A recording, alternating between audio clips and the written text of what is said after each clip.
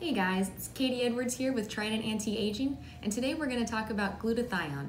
Glutathione is a naturally occurring peptide in all of our bodies. It's made up of three different types of amino acids, glutamate, cysteine, and glycine. The great thing about glutathione is how it works in our body is it acts to reduce free radicals. Free radicals are what our body produces anytime it gets stressed out. So our liver gets stressed out when we drink alcohol, our skin gets stressed out when it sees sun, our brains get stressed out when we stare at computer screens all day. So these free radicals constantly are building up in our bodies. What happens is, is over time, these abundance of free radicals start to cause infection, inflammation, disease, cancers. It's not a good thing. So glutathione exists to go around and clean up those extra free radicals.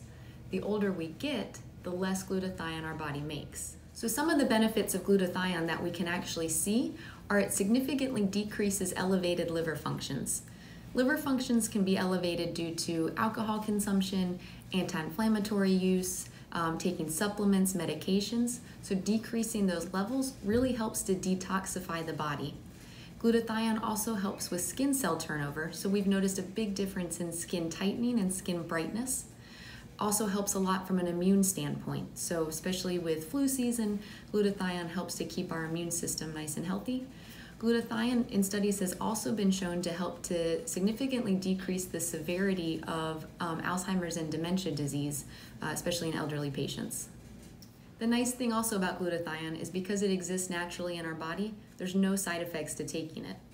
There's three ways that you can get glutathione orally, sublingually, and injection. The oral use of glutathione, though not wrong, only allows for a very small amount to be actually available to your body. By the time you take it orally and it gets digested through your stomach, your liver, your kidneys, very little is actually getting into the bloodstream. Peptides need to get into the bloodstream quickly in order to be distributed throughout the body. That's why the sublingual or underneath your tongue approach or injectable is the best way to take it.